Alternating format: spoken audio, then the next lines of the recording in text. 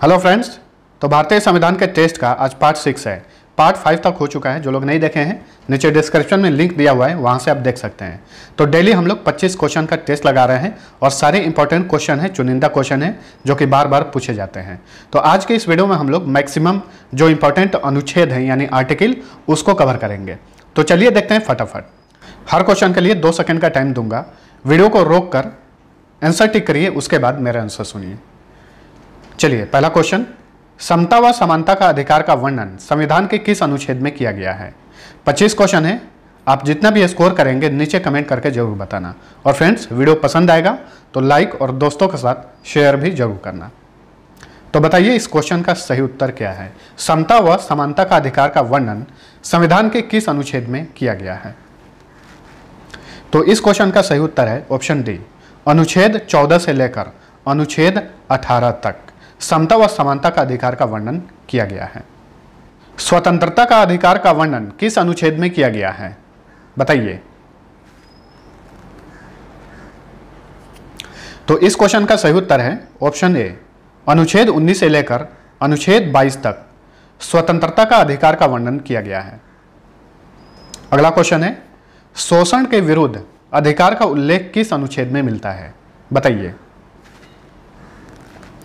तो शोषण के विरुद्ध अधिकार का उल्लेख किस अनुच्छेद में किया गया है? इसका सही उत्तर है ऑप्शन सी, अनुच्छेद 23 से लेकर अनुच्छेद 24 तक।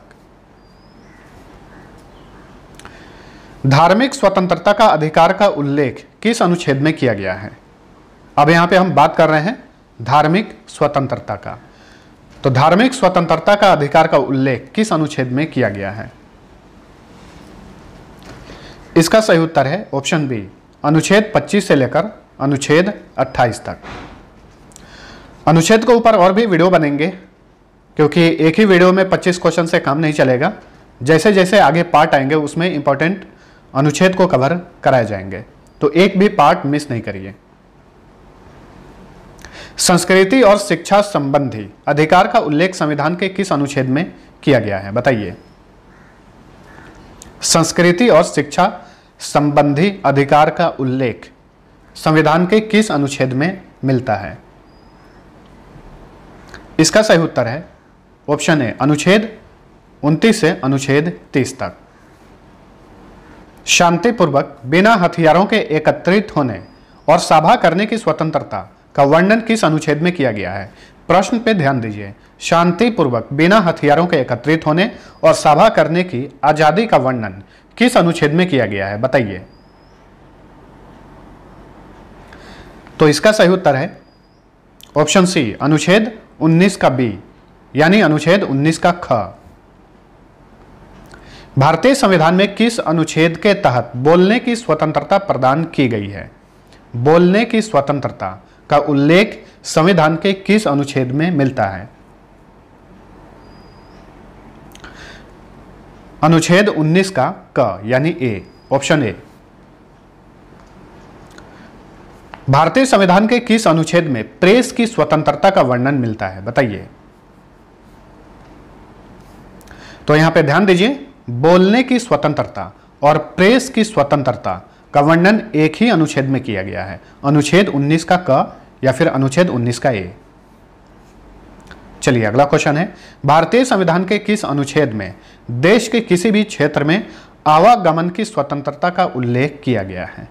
बताइए, आप देश के किसी भी हिस्से में आवागमन कर सकते हैं, उसकी स्वतंत्रता का उल्लेख किस अनुच्छेद में किया गया है? इसका सही उत्तर है ऑप्शन बी, अनुच्छेद 19 का डी। चलिए, अगला क्वेश्चन। संवैधानिक उपचारों का अधिकार का वर्णन किस अनुच्छेद में किया गया है? संवैधानिक उपचारों का अधिकार का वर्णन।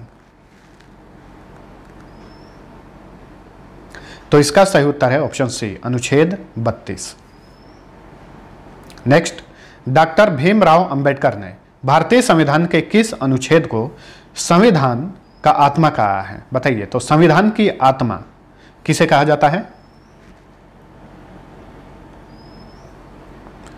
अनुच्छेद 32 को। संविधान के किस अनुच्छेद के तहत राष्ट्रपति देश का संवैधानिक प्रधान होता है? किस अनुच्छेद के तहत प्रेसिडेंट देश का संवैधानिक प्रधान होता है? तो इसका सही उत्तर है ऑप्शन डी, अनुच्छेद बावन। नेक्स्ट भारत के चारों सर्वोच्च नागरिक सम्मान, चारों सर्वोच्च नागरिक सम्मान, यानी भारत रत्न, पद्म विभूषण, पद्म भूषण और पद्मश्री संविधान के किस अनुच्छेद के तहत प्रदान किए जाते हैं? तो ये चारों सम्मान जो हैं, संविधान के किस अनुच्छेद के तहत प्रदान किए जाते हैं? ऑप्शन बी सही उत्तर है, अनुच्छेद 18 ठीक है? इसके अलावा परमवीर चक्र, महावीर चक्र और वीर चक्र, जो कि सेनाओं को दिए जाते हैं, इन सभी पुरस्कारों का भी वर्णन अनुच्छेद 18 में किया गया है। छुआछूत के उन्मूलन का उपबंध संविधान के किस अनुच्छेद में मिलता है? छुआछूत के उन्मूलन, अस्पृश्यता के उन्मूलन, आप लोग पढ़े हुईएगा। बताइए, इसका वर्णन किस अनुच्छेद में किया गया है? अनुच्छेद 17 ऑप्शन बी। भारत का कोई भी नागरिक किसी अन्य देश से बिना राष्ट्रपति की आज्ञा के कोई भी उपाधि स्वीकार नहीं कर सकता। यह बात किस अनुच्छेद में कही गई है, बताइए।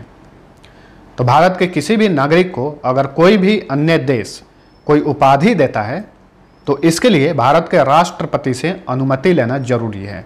यह बात किस अनुच्छेद में कहा गया है?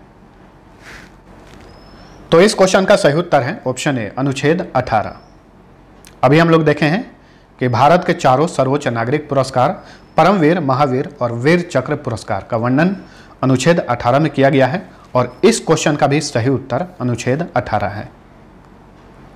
धर्म, मूल वंश, जाति, लिंग एवं जन्म स्थान आदि के आधार पर नागरिकों के प्रति जीवन के किसी भी क्षेत्र में भेदभाव नहीं किया जाएगा। यह बात किस अनुच्छेद में कही गई है, बताइए। क्वेश्चन को ध्यानपूर्वक पढ़िए और इस क्वेश्चन का सही उत्तर बताइए। अनुच्छेद 15 में यह बात कहा गया है। 6 से 14 वर्ष के आयु के समस्त बच्चों को निशुल्क तथा अनिवार्य शिक्षा उपलब्ध कराने का वर्णन किस अनुच्छेद में किया गया है? ये सारे के सारे चुनिंदा प्रश्न हैं और यहाँ से बार बार पूछे जाते हैं। तो रट जाना है एकदम से। तो सही उत्तर है ऑप्शन सी, अनुच्छेद 21 का ए। इसमें कहा गया है कि 6 से 14 वर्ष के आयु के समस्त बच्चों को निशुल्क तथा अनिवार्य शिक्षा उपलब्ध कराया जाएगा। किस समिति की अनुशंसा पर बयालीसवें संवैधानिक संशोधन 1976 द्वारा मौलिक कर्तव्य को भारतीय संविधान में जोड़ा गया? बताइए। तो इतना तो पता है कि मौलिक कर्तव्य को जोड़ा गया बयालीसवें संविधान संशोधन 1976 के तहत। लेकिन किस समिति की अनुशंसा पर यह बताइए? सरदार स्वर्ण सिंह समिति की सिफारिश पर, ऑप्शन डी। भारतीय संविधान में मौलिक कर्तव्यों की संख्या कितनी है? बताइए। मौलिक कर्तव्यों की संख्या कितनी है भारतीय संविधान में?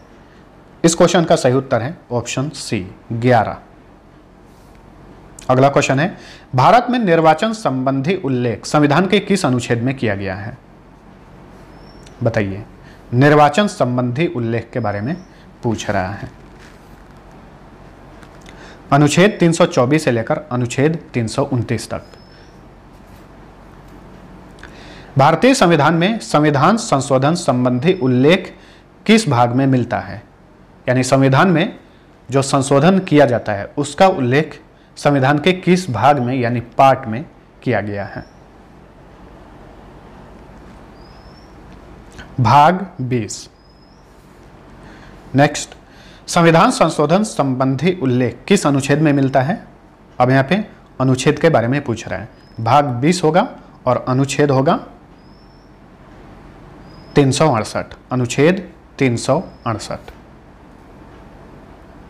हिंदी को भारत की राजभाषा के रूप में कब स्वीकार किया गया? बताइए। हिंदी को भारत की राजभाषा के रूप में कब स्वीकार किया गया? 14 सितंबर उन्नीस सौ उनचास को। चलिए, अगला क्वेश्चन भारतीय संविधान के किस अनुच्छेद में राजभाषा के संबंध में व्यवस्था की गई है? किस अनुच्छेद में?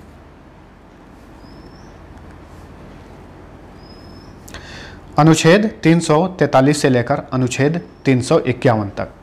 तो सही उत्तर होगा ऑप्शन ए किस अनुच्छेद के तहत हिंदी भारत की राजभाषा है? बताइए।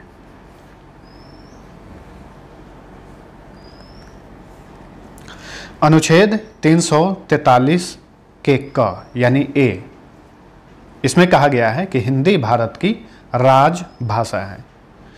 तो ये थे संविधान के चुनिंदा टॉप 25 प्रश्न। जितना भी स्कोर है नीचे कमेंट करके बताइए। ऐसे ही आगे हम लोग सीरीज़ चालू रखेंगे तो आप हमारे चैनल के साथ बने रहिए। और ये वीडियो कैसा लगा है, कमेंट करके ज़रूर बताना। और लाइक और शेयर ज़रूर करना। अब मिलते हैं अगले वीडियो में। तब तक के लिए टेक केयर